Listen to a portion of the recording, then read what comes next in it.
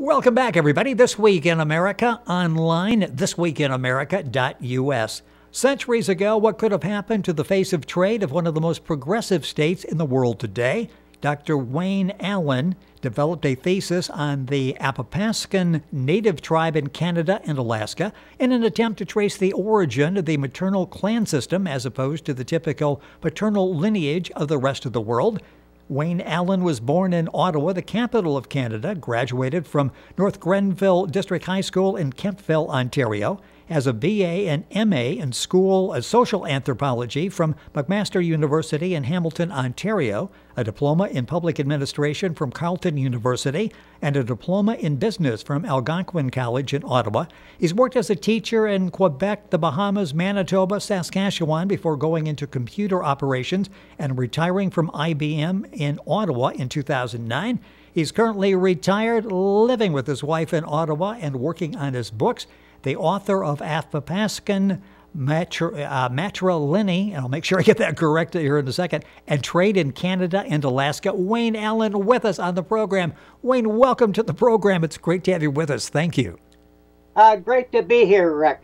Matrilineal, there I have that. So we'll get all of that together here. Let's talk. This is fascinating it really is great information. We've got some pictures on the video portion that we'll be uh, showing as we're talking to Wayne. This began, as I understand, as, as a thesis. How did this whole venture begin for you? Oh, it began when I was an anthropology student. Uh, I got desperate towards the end of the year looking for a thesis. I decided on this one, which we had been discussing all year and uh, I started investigating, and sure enough, the pieces fell into place uh, smoothly, and I got my degree. Well, and that's good. And you've educated all of us in the process with what you found. It's been said that you found numerous interesting facts. Uh, you discuss and you elaborate on those in the book. Talk about the, the, the thesis behind this. What were you looking for? And talk about the process because you actually got some answers, answers that some people were looking for and couldn't find before you got involved. Uh, the information was there all along, only was scattered into many bits from various sources, to, from professional anthropologists to missionaries to fur traders some of which lived a century ago. But the information was all there. I just had to put, put it together. How time consuming was that? Uh, I spent the whole summer on it, from May to September.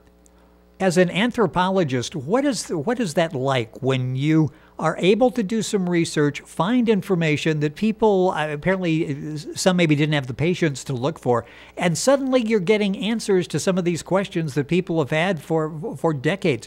What's that like when you started putting this puzzle together? Very satisfying. It gave me a thrill. I enjoyed it. The book we're talking about, I'm going to try the title here Athapaskan Matrilineal and Trade in Canada and Alaska. Wayne W. Allen, our guest on the program. Books available, of course, wherever you find books, and his website is www.allen.com. You go to our website, thisweekinamerica.us, and link on directly.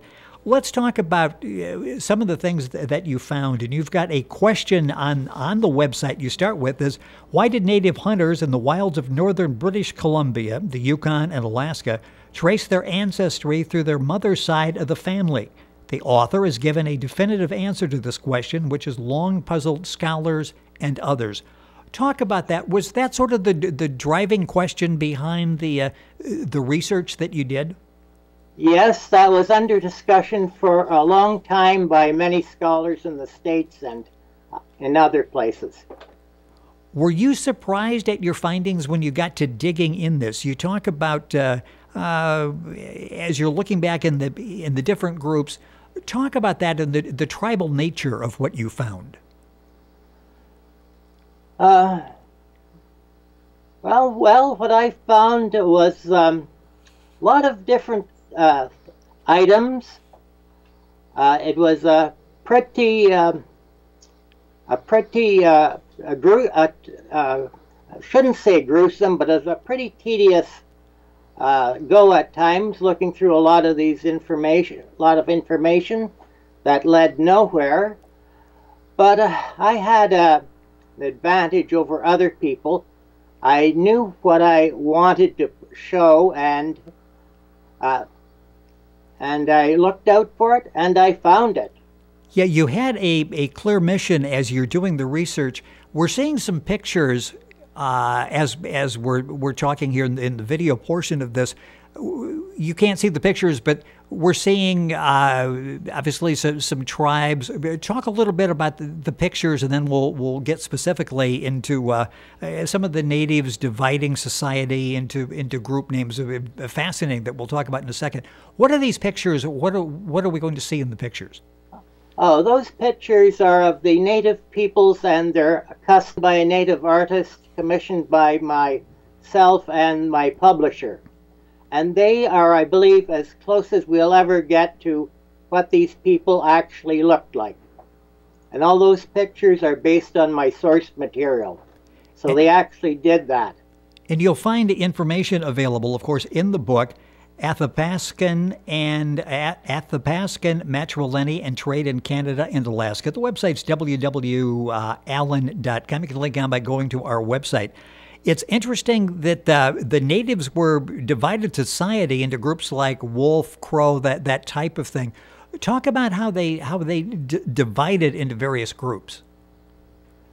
Uh, actually, uh, they were not as much divided as they were united by the two groups. Okay. Because if you were a wolf, you had to marry a crow, and and vice versa. But those were two divisions within their societies, and uh, they were important. Uh, they were considered brother and sister. If you married a woman in your own descent group, like a, a crow, and you were a crow, then you'd be criticized and your marriage would be broken up. They tell you, no, no, she's your sister. So, yeah, these are actual these are actual kin groups, and uh, brothers, and, and they have the same relation to you as brothers and sisters. And it, it's fascinating reading the the, the structure there. And you, they talk about enforcing strict trading monopolies Talk about that because that's the way they went about the trade. And we'll talk about the art of the deal here in a few seconds. Everybody's got the art of the deal now, but but talk about the uh, the, trading monopolies and how they set this up because they had their own little infrastructure, didn't they? Uh, yeah, yes. Uh, the tra- the trade trading monopoly worked on the basis of these kinship systems. You uh, you had to be in the same uh, group as your trading partner, like you're both wolves. Yes. Right? And uh, the advantage of a matrilineal system is that you could trade, you could marry your daughter or your wife's sister to your trading partner. And that would give you more control and more information coming to you about your trading partner, and it'd be further tied to you. Not just a business deal, a family deal as well. Now, the monopoly comes into it uh, uh, uh, very importantly. Uh, every, every native could gather furs, but only an official trader or a trading chief had the right to trade them to the Hudson's Bay Company or to people outside of his group, outside the tribe. And um, and uh, and if anybody, uh, but the official trader tried to go to the post, they'd be stopped. They'd have to sell their furs to the trade chief at a lower price, and then at the annual trading event, he'd go to the Hudson Bay Company and trade it there for a much higher price, or to the next group of natives farther up the river or down the river and get much higher prices there. Uh, profits were very good. Uh, it was a thousand percent profit. You'd sell it for something for 10 times the price you paid for it, and that continued throughout the area.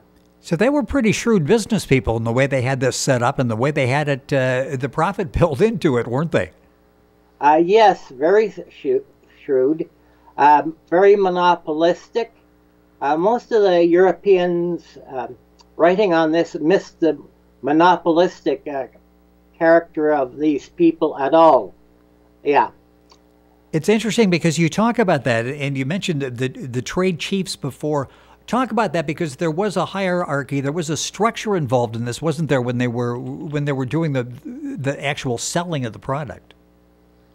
Oh, oh yes. I mean, uh, if uh, the deal was very important, in fact, it was a very uh, a great deal. I mean, it was the climax of the whole trade meeting, and it was long and lots of arguing, lots of fighting, lots of taking the goods back, and lots of threats, lots of intimidation, and uh, and it looked like these people were really, uh, really angry when they're doing the deal. But um, I, I checked further, and well, it looked very bad and looked like there was lots of emotion.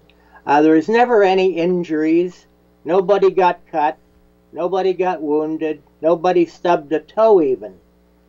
And this violence, apparent violence, was more for show and to keep the prices up. That was behind it more than anything. Interesting. Yeah, the, the name of the book is Athapaskan, Matrilineal, and Trade in Canada and Alaska, written by Wayne W. Allen. His website is www.allen.com. Go to our website, thisweekinamerica.us, and link on directly to uh, Wayne's website and, and get information as well.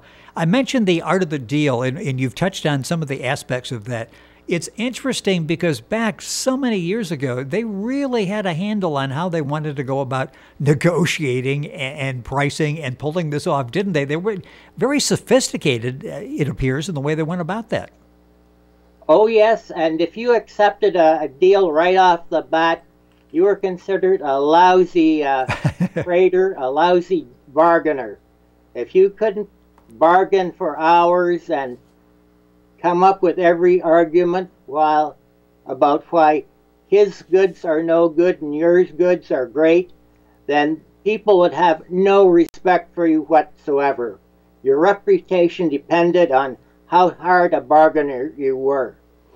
And with that in mind, uh, there's a lot of uh, very vicious bargaining sessions as a result. It sounds like it, and you'll see those actually play out in the book. Uh, Wayne Allen, uh, Wayne W. Allen, our guest on the program. We're talking about the book Athapaskan, Matrilineal, and Trade in Canada and Alaska. Um, it's interesting. We, I brought up the question a while ago, which was sort of a question, a foundation that a lot of people had in, in tracing your descendants through the mother side of the family. What answers did you get on that? That's where, what, as I understand, that was one of the premises as you got started. Did you get an answer to that? And that answer has helped a lot of other people who had the same question. Uh, what was that question again? I didn't quite catch. Yeah, in, in in trying to train, uh, trying to track the uh, uh genealogy from the uh, descendants from your mother's side of the family. The uh, how did that happen? Trace their ancestry through the the, the mother side of the family. Well, uh, the matrilineal descent groups uh, started with uh, coast, uh, people on the coast who were not Athapaskan. Uh, they were the Tlingit, uh, and they were very relatively sedentary. They did a lot of shellfish. They did a lot of net fishing. They went out along the coast for sea mammals, but uh, they weren't great travelers. Now, it, it's rather normal for that type of a people to have a matrilineal descent group. But what happened, uh, the Hudson Bay Company pulled up with big shiploads of goods off the coast, and they had to trade these to the people in the interior. N now, how the descent group started is was very well recorded. the Tlingit, when they met the people from the interior, the Athapaskans, they'd say, You're a wolf, you're a crow, you're a wolf, you're a crow. And at first, the Athapaskans didn't understand this, but then, oh yeah, they continue, oh yeah, it goes like that through the mother's side. So that's how it actually spread from one group to another. Uh, when the trading started, you'd say to your trading partner, You're a crow. You'd say to um, his wife, uh, You're a uh, you're a wolf. Yes. And they'd go through the whole families like that and point out who was who. And that's actually how it's spread. Somebody recorded that, but uh, they didn't know the significance of that. Well, it's interesting, and, and you point all of this out in the book.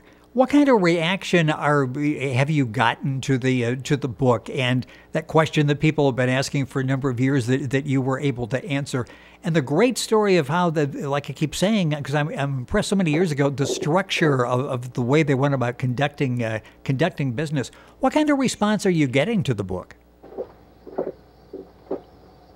Uh, pardon, I didn't catch that. Yeah, what kind of response are you getting to the book from uh, from others who have read this and are fascinated as well by the story?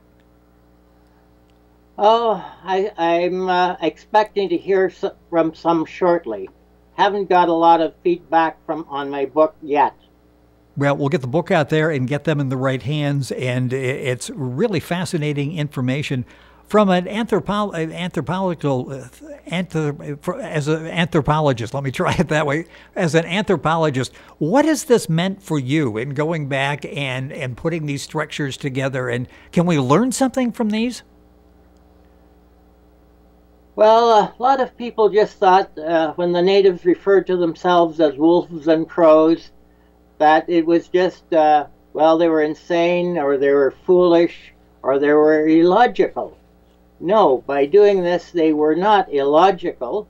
These wolf and crow groups uh, fitted right in with their society, helped their trading a lot, helped organize their, their society for ceremonies and uh, and it helped uh, decide who you were going to marry because you had to marry somebody in the other group. So yes, it made a lot of sense. It just didn't make sense to the Europeans who were ignorant of the rest of the uh, Athapaskan societies. No, it's interesting, and and you point out as well that uh, we may look at that and go crows and Indians and wolves and, and all of this, and then you point out we all belong to organizations that that have similar names. So in a way, it's not all that different, is it? Uh, no, it's not all that different. I mean, uh, when the natives traded, it was a big show. But when you're dealing with a uh, for a car at a dealership, and you're trying to get down the price, the salesman will say, "Okay, I don't think I can go any lower. I'll have to check with the manager." and he walks over into the manager's office, which is uh, conveniently has a full length window in his office so you could see him. And the salesman gestures and bangs the desk and waves his arms, and the manager does the same thing. And finally, he comes out and says, Yeah, it was tough, but I got him to agree to the price. uh, and that is just their way of uh, tricking you into not going any lower. Yes, and it's like it's a it's a trick that's been around for a long time. One of the the excerpts that you have on the website, and I think it sort of sums up what we've been talking about. They will have recourse to every subterfuge, even intimidation, to have the best of a bargain, and will do all in their power to fleece their opponent and boast of it afterwards. Does that pretty well sum up what we've talked about here? Oh, yeah, that very much sums up uh, what we're talking about. Only I think the uh, Europeans were taken in quite a bit because these trading partners were in the same kin group. They were they had been uh, socializing all night the night before. They were daughter-in-law and son or father-in-law and son-in-law related. So yes, uh, they overestimated the actual viciousness they were seeing. They're taken in by the uh, by the uh, play. That yes, yes, the show that was going on, the theater was uh, rather than the deal was was was getting their attention. A couple minutes left in the program. From your standpoint, someone who has has studied this, as you were doing the research, what were your thoughts? Were there surprises as you were going along this process? Did you learn something from this? Uh, there were not too many surprises, but one of the most remarkable things that I, I uh, discovered was something I couldn't put in my uh, book because it was off topic. And that was the story of a group of natives going in the middle of winter across the mountains to a, a new campsite that they had prepared, and they were bringing the last of their people over the mountains to the new campsite. There was a storm brewing, and an old lady had trouble walking, and she was slowing them down. And so one of them said, uh, Look, grandmother, we're very sorry, but we're going to have to uh, leave you behind and you know what that means. But we'll come back in the spring and uh, give you a real nice uh, funeral feast. It'll be great. And she said, okay, that's fine. Uh, go ahead. And she stayed there, and they left her there, and they continued on to the new campsite. The spring uh, uh, came, the snow, snow melted, and they thought of the old woman and they gathered up all their food and all their regalia for their for her funeral potluck and they trudged back up the mountain trail to where they had left her and uh, they found her body the only thing uh, wrong was uh, she was still walking around in it and talking uh, she had survived the whole winter alone up in the mountain with what she just had on her and in her pockets. And they were stunned. They would ne- they had written her off completely. A- and so after a celebration and some good food, I'm sure they took her back to the new camp and uh, she lived for several more years. That's she wasn't done yet. That's an amazing story that that she got through that, and I'm sure was a source of inspiration to the people who went back expecting a uh, a funeral, and suddenly they see her walking around. I can only imagine the the shock as as they went through that. With us on the program is uh, Wayne W. Allen. He's the author of the book Athapaskan Matrilineal and Trade in Canada and Alaska. You'll find information on the book, a lot of great information as well, at his website, www.allen.com. And you can link on directly by going to our website, thisweekinamerica.us. Living now in uh, in Ottawa, retired and enjoying life in uh, in Ottawa. Wayne, a pleasure having you on the program. A lot of great information today, including the final story, which is an inspiration to to all of us to uh, to, to try to keep going, no matter what the circumstances are. Thank you for being with us on the program today. Uh, you're welcome. It's been great to be here a lot of fun. And Wayne Allen, our guest on the program, Athapaskan Matrilineal and Trade in Canada and Alaska. W.W. Allen, the website. Link on directly by going to our website, thisweekinamerica.us. We're back on today's program right after these messages. Do stay tuned.